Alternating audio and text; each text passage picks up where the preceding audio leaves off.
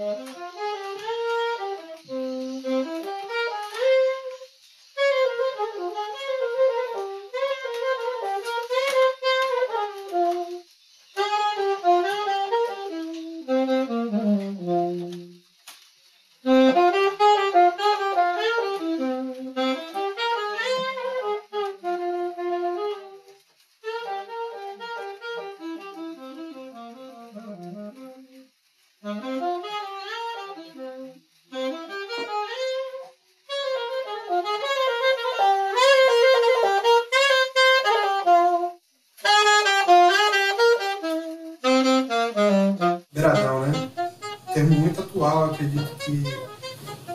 sendo utilizado um pouco mais de 10 anos para cá e o que eu acho mais interessante é quando esse termo se junta à música, a qual nós estamos nos propondo a fazer.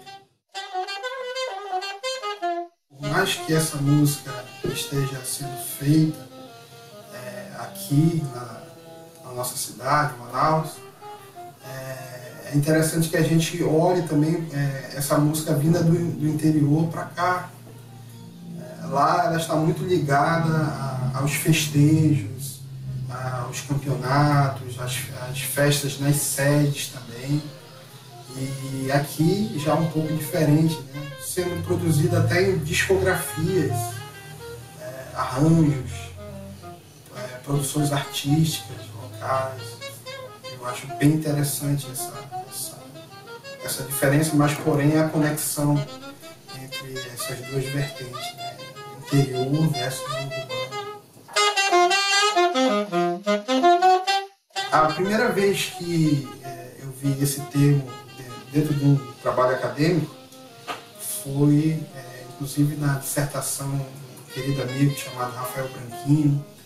É, lá na dissertação de mestrado dele, ele fala que esse termo é um termo que está no livro de Álvaro Maia, de 1958. E junto com isso, acredito que a academia, tanto a academia como os movimentos musicais, os músicos dos beiradões, os músicos da cidade, é, vem contribuindo para que esse nome fortaleça mais o que hoje estão chamando, inclusive, de é, movimento beiradão.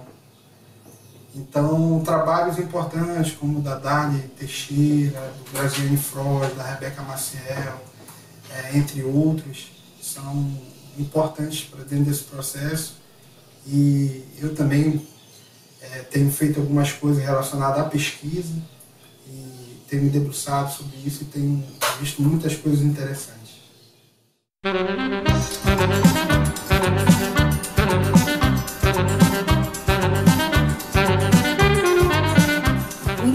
Assim é que as pessoas conhecem Teixeira de Manaus como saxofonista. E no começo ele não, não era o sax, né? No início, bem nos 16 anos, ele era o saxofonista, mas, mas depois ele ficou numa área mesmo da música, como tecladista, né? Tocando chamavam de órgão naquela época. E depois, com, quando ele virou Teixeira, que antes ele era Teixeirinha, é, Maestro Teixeira, no, no, grupo que ele tinha, RT4, né? Que era R de Rudemar, que é o nome dele, Teixeira, e quatro, que eram quatro componentes.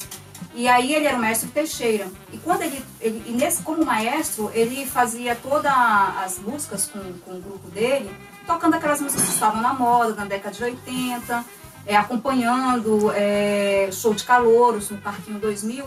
E ele sempre também acompanhava o, o Piduca quando ele vinha para Manaus, porque trazer a sua banda era muito caro naquela época. Quando ele começou a tocar o sax, né, sempre acompanhando o Pinduca, em várias vezes que ele vinha a Manaus fazer show, o Pinduca fez um convite para ele e disse: Olha, você não quer gravar?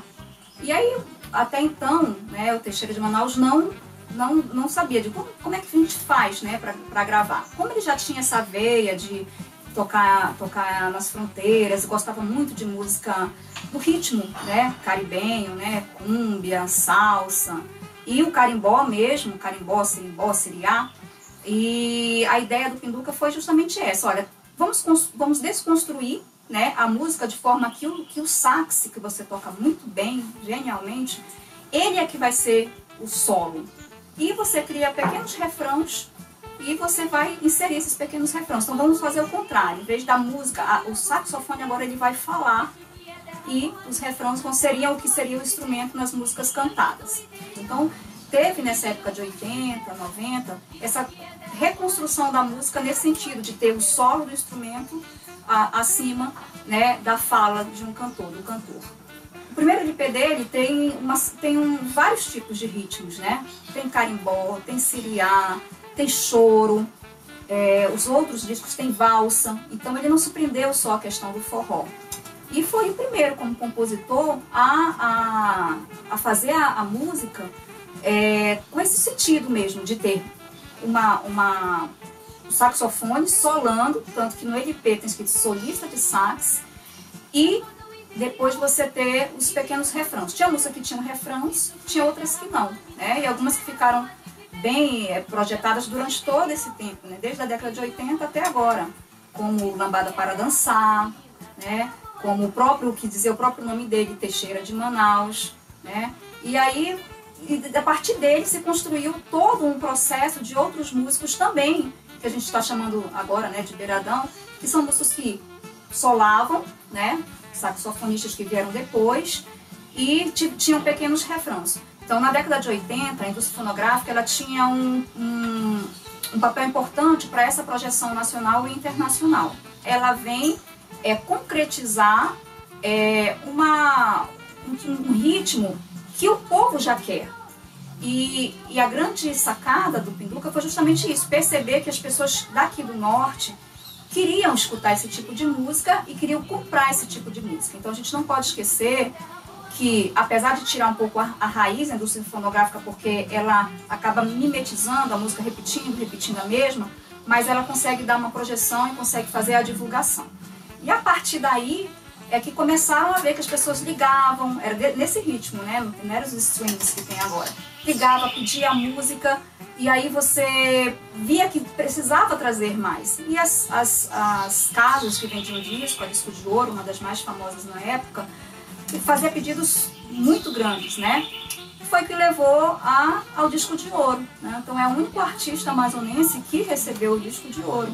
Então, assim, ah, temos dúvidas se foi um grande artista para aquela época, não tem como não ter, pela concretude do, da entrega de um disco de ouro, pela contabilidade de vendas, equivalente a 100 mil, e foi uma festa muito bonita.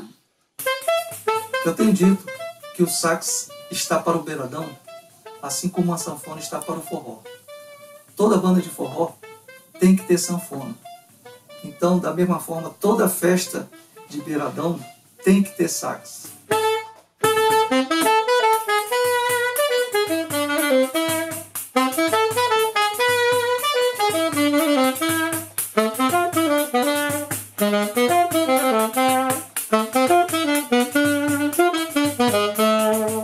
Teixeira de Manaus, precursor do Beiradão. Teixeira de Manaus nada mais é do que a nossa referência maior para todos nós artistas, né? porque foi através dele que todo, todo mundo passou a, a conhecer esse nome Beiradão.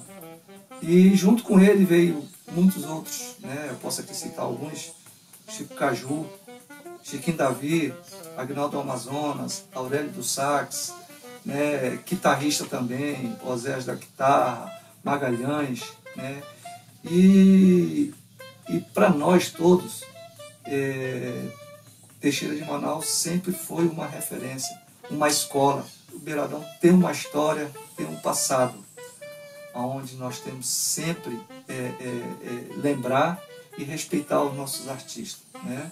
Eu quero parabenizar também as pessoas que se propuseram a estudar esse nome, Beiradão.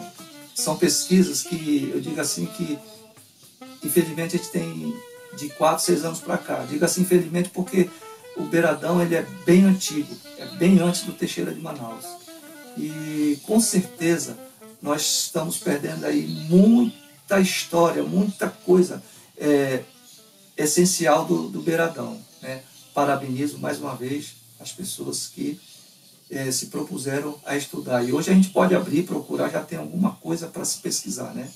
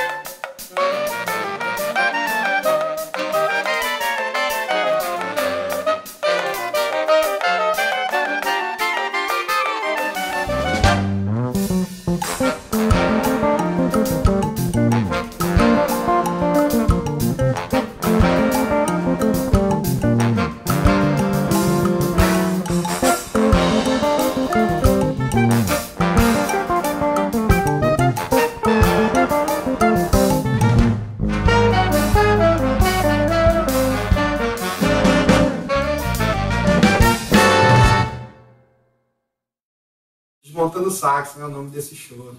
Choro gravado no primeiro álbum de Teixeira de Manaus, 1981, esse álbum famoso que ganhou o disco de ouro com 100 mil cópias vendidas. Interessante é que o choro está dentro do repertório do Beiradão também. Tem a forma A, tem a parte B, tem a parte C. E além disso, ele trabalha uma melodia muito interessante com, com movimentos cromáticos.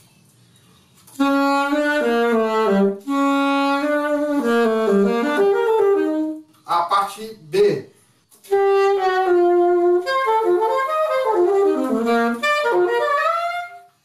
E isso é enriquecedor e também inspirador. É muito bacana a gente poder fazer a recriação da obra de arte. Eu acho que essa é uma liberdade estética que nós temos com muita força. E como a música de Teixeira de Manaus é tão inspiradora, é, a gente faz isso, a gente lê a música dele, relê a música dele, e isso é um processo que eu acho bem comum dentro da arte. Se você for olhar para as melodias do Teixeira de Manaus, elas são super bem estruturadas. E, por exemplo, eu vou tocar um pouquinho aqui a, essa melodia que todo mundo conhece. Então, é um, um simples inciso que diz muita coisa e, e como isso está marcado na memória afetiva das pessoas. Dentro desse nosso processo criativo, da OBA, dessa releitura, a gente pode usar de várias técnicas e vários artifícios musicais para que essa releitura possa ser um pouco mais interessante. E foi aí que eu resolvi colocar uma, uma, um compasso ímpar e um compasso par na música do Teixeira. E de repente o que era assim.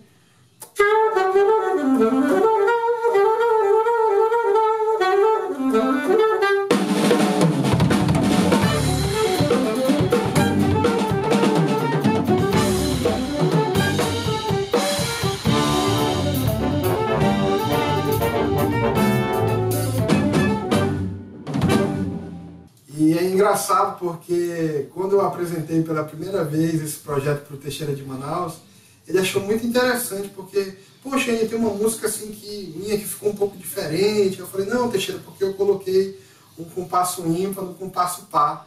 E ele falou, rapaz, não faça isso que você vai quebrar a perna dos dançarinos na, na, na série do Beiradão. Foi muito legal.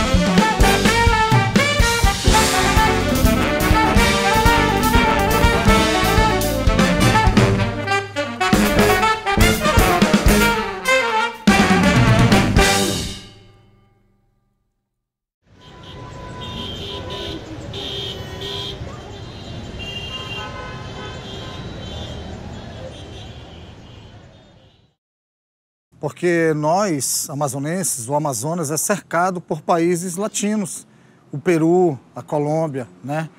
É, então, assim, a Venezuela, é, não tem como não sofrer uma influência na nossa música, né? E o Beiradão, ele teve essa influência. A cúmbia que o Teixeira de Manaus tocava é muito diferente da cúmbia peruana, né? O merengue que o, que o Teixeira toca é diferente do merengue, do merengue dominicano. É totalmente diferente, sabe por quê? Porque a Amazônia é uma atmosfera. Então ela tem um toque amazônico, ela tem uma coisa do, da floresta, ela tem uma coisa do caboclo, ela tem uma coisa é, dos rios, né? Então é uma coisa muito nossa. Eu não posso falar que a nossa o beiradão é, é tocado igual a, é no Peru, na Colômbia, ou na Venezuela, ou na República Dominicana. Esse som é único, ele é daqui. Então a gente percebe isso quando a gente toca. O próprio Teixeira, ele toca diferente, ele acentua, né? Ah, os temas dele, as composições dele diferentes. Ele não se preocupa tanto com isso. Ele está olhando é para o rio, ele está olhando para a floresta. Ele tem um olhar diferenciado dentro da música dele. Eu acho que essa é a grande sacada, é a grande influência que nós sofremos, né? Dessa música latina. Então tem tudo a ver com essa coisa daqui do norte, né? Tem influência? Tem, mas o Beiradão é nosso, tá, gente?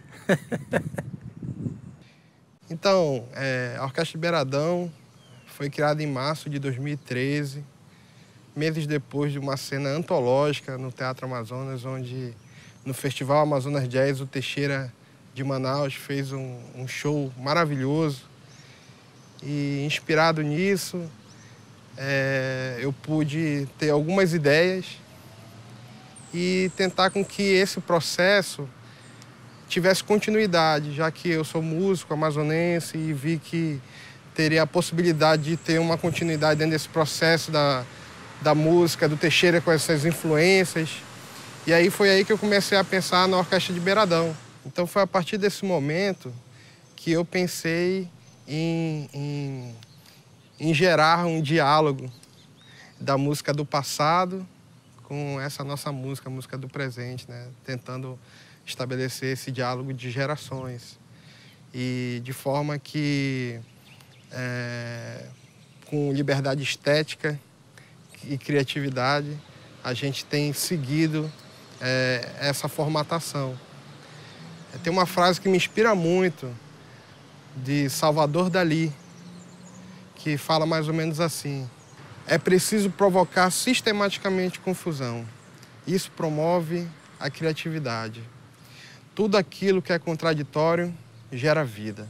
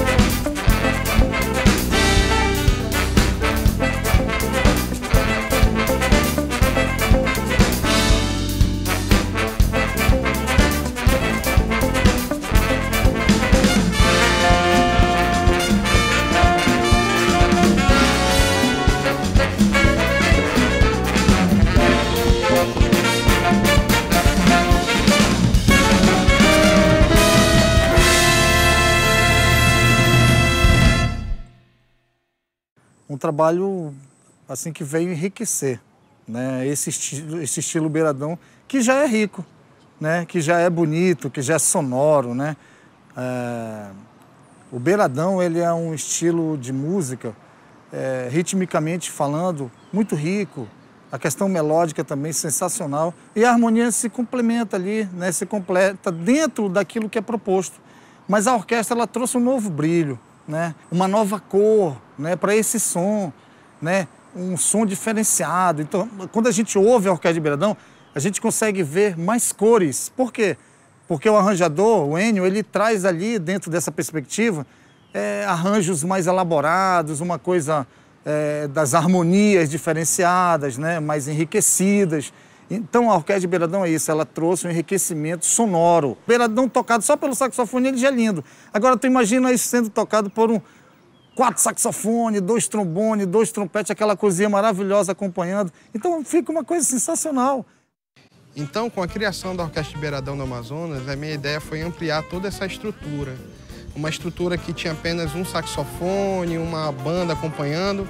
Eu resolvi transformar isso é, em uma sessão grande de oito sopros e também com os instrumentos de base, bateria, contrabaixo, guitarra, percussão. E no naipe de sopro nós temos os saxofones, os trompetes e os trombones.